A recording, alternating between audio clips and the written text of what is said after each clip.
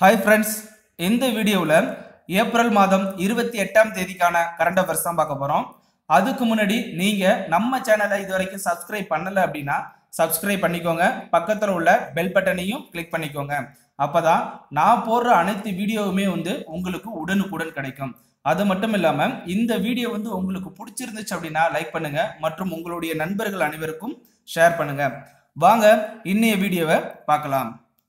முதல் நான் பாருங்கள் ராணுவத்திற்கு அதிகம் செலவிடும் நாடுகள் பட்டியலில் முதலிடத்தில் உள்ள நாடு எது? ராணுவத்திற்கு அதிகம் செலவிடும் நாடுகள் பட்டியலில் முதலிடத்தில் உள்ள நாடு எது? ஆன்சர் பாருங்க. அமெரிக்கா. ஆன்சர் வந்து அமெரிக்கா. ரெண்டாயிரத்தி பத்தொன்பதாம் ஆண்டினுடைய அடிப்படையில ராணுவத்திற்கு அதிகம் செலவிடும் நாடுகள் பட்டியலை வந்து ஸ்வீடன் நாட்டை சேர்ந்த ஸ்டோக் ஹோம் சர்வதேச அமைதி ஆய்வு மையம் வந்துட்டு ஒரு அறிக்கையை வெளியிட்டிருக்காங்க. அந்த அறிக்கையினுடைய அடிப்படையில ஓகேங்களா? அந்த அறிக்கையினுடைய அடிப்படையில இந்த பட்டியலில் அமெரிக்கா வந்து முதலிடத்துல இருக்காங்க. சீனா வந்து ரெண்டாவது இடத்துல இருக்காங்க. மூன்றாவது இடத்துல பார்த்தீங்கன்னா நமது இந்தியா இருக்கு. ஓகேங்களா? நமது இந்தியா வந்து எத்தனையாவது இடத்துல இருக்குன்னு கேள்வி கேட்கலாம். அதாவது ராணுவத்திற்கு அதிகம் செலவிடும் நாடுகள் பட்டியலில் இந்தியா எத்தனையாவது இடத்தில் உள்ளது? ஆன்சர் மூன்றாவது இடத்துல. நான்காவது இடத்துல பாருங்க ரஷ்யா. ஓகேங்களா? அப்படின்னா ரெண்டாயிரத்தி பத்தொன்பதாம் ஆண்டு அமெரிக்கா வந்துட்டு எவ்வளவு அமௌண்ட் ஓகேங்களா எவ்வளவு பணம் செலவு பண்ணியிருக்காங்க பார்த்தீங்கன்னா ஐம்பத்தி நாலு புள்ளி ஒன்பது லட்சம் கோடி வந்து அமெரிக்கா ராணுவத்திற்காக செலவு பண்ணியிருக்காங்க சீனா எவ்வளவு செலவு பண்ணியிருக்கு பார்த்தீங்கன்னா ரெண்டாவது இடத்துல இருக்க சீனா வந்து பத்தொம்போது புள்ளி ஐந்து ஏழு லட்சம் கோடி வந்து செலவு பண்ணியிருக்காங்க நமது இந்தியா எவ்வளவு செலவு பண்ணியிருக்காங்க அப்படின்னு பார்த்தீங்கன்னா ராணுவத்திற்கு ஐந்து புள்ளி மூணு மூணு லட்சம் கோடி வந்துட்டு செலவு பண்ணியிருக்காங்க அதாவது ரெண்டாயிரத்தி பத்தொன்பதாம் ஆண்டு. அடுத்தது நான்காவது இடத்துல இருக்க ரஷ்யா எவ்வளோ செலவு பண்ணியிருக்காங்க பார்த்தீங்கன்னா நாலு புள்ளி எட்டு எட்டு லட்சம் கோடி வந்து ராணுவத்திற்காக ரெண்டாயிரத்தி பத்தொன்பதாம் ஆண்டு செலவு பண்ணியிருக்காங்க. அடுத்த வினா பாருங்க ஒடிசா மாநிலத்தின் புதிய உயர் நீதிமன்ற தலைமை நீதிபதியாக நியமிக்கப்பட்டுள்ளவர் யார்?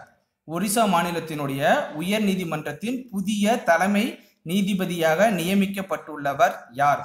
ஆன்சர் பாருங்க. முகமது ரஃபிக். முகமது ரஃபிக் தான் வந்துட்டு ஒடிசா மாநிலத்தினுடைய புதிய உயர் நீதிமன்ற தலைமை நீதிபதியாக வந்து நியமிக்கப்பட்டுள்ளார். தன்வந்திரி நானோ ஆயு சாதி நிறுவனத்தால் தயாரிக்கப்பட்ட ஆல்கஹால் இல்லாத கிருமி நாசினியின் பெயர் என்ன?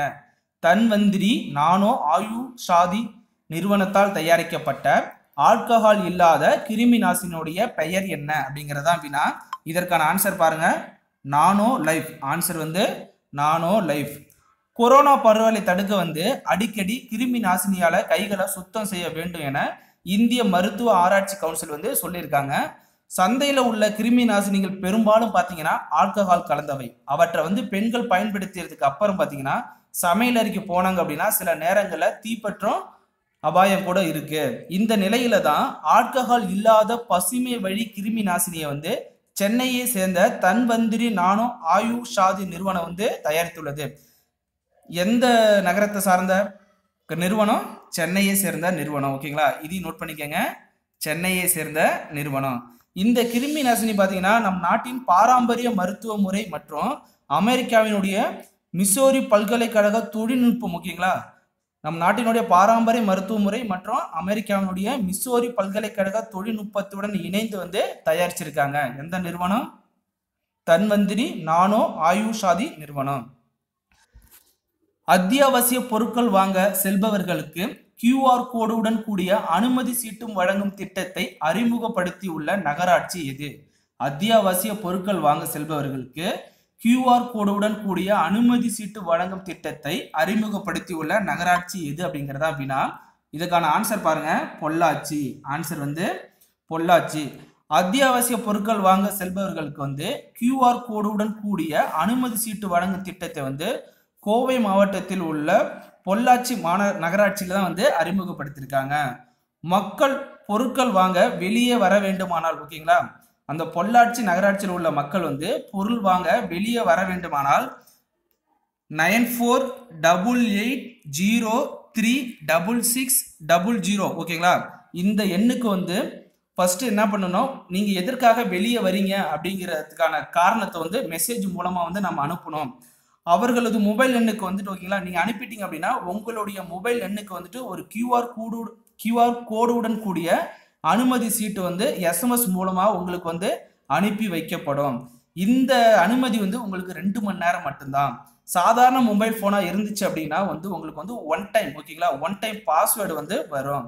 ஒரு நபர் வந்துட்டு இந்த கியூ கியூஆர் கோடு அல்லது பாஸ்வேர்டு ஒன் டைம் பாஸ்வேர்டை பயன்படுத்தி ஒரு முறை ஓகேங்களா வாரத்திற்கு ஒரு முறை மட்டுமே வெளியே வர முடியும். அடுத்து வேணா பாருங்கள் அருணாச்சல பிரதேசத்தில் அண்மையில் புதிய பாலம் திறந்து வைக்கப்பட்டது. அந்த பாலம் எந்த நதியின் குறுக்கே கட்டப்பட்டுள்ளது? அருணாச்சல பிரதேசத்துல அண்மையில் வந்து ஒரு புதிய பாலம் வந்து திறந்து வச்சிருக்காங்க. இந்த பாலம் வந்து எந்த நதியின் குறுக்கே கட்டப்பட்டது அப்படிங்கிறதா அப்படின்னா இதற்கான ஆன்சர் பாருங்க. சுபன்ஷி ஓகேங்களா? சுபன்சி நதியினுடைய குறுக்க தான் வந்து அந்த பாலம் கட்டப்பட்டுள்ளது. அந்த பாலம் கட்டப்பட்டதற்கான மெயின் காரணம் என்ன அப்படின்னு பார்த்தீங்க அப்படின்னா அருணாச்சல பிரதேசத்தில் இந்திய சீன எல்லையில் உள்ள இராணுவ இந்திய இராணுவத்திற்கு வந்து தேவையான ஆயுதங்களை எடுத்து செல்லும் வகையில தான் இந்த சுபன்சி நதியின் குறுக்கே வந்து இந்த புதிய பாலம் வந்துட்டு அதாவது முக்கிய நோக்கமா ஓகேங்களா மெயினா வந்து அதுக்காக தான் இந்த இந்த புதிய பாலத்தை கட்டியிருக்காங்க. அடுத்து என்ன பாருங்க. மத்திய மனிதவள மேம்பாட்டு அமைச்சகத்தின் பள்ளி கல்வி மற்றும் எழுத்தறிவுத்துறை செயலாளராக நியமிக்கப்பட்டுள்ளவர் யார்? மத்திய மனிதவள மேம்பாட்டு அமைச்சகத்தின் பள்ளி கல்வி மற்றும் எழுத்தறிவுத்துறை செயலாளராக நியமிக்கப்பட்டுள்ளவர் யார்? ஆன்சர் பாருங்க. அனிதா கார்வால். ஆன்சர் வந்து என்ன? அனிதா கார்வால். ஓகே ஃப்ரெண்ட்ஸ் இந்த வீடியோ பிடிச்சிருந்தா லைக் பண்ணுங்க ஷேர் பண்ணுங்க. உங்களுடைய நண்பர்களுக்கு நம்மளுடைய சேனலை பத்தி எடுத்து சொல்லி சப்ஸ்கிரைப் பண்ண சொல்லுங்க. தேங்க்யூ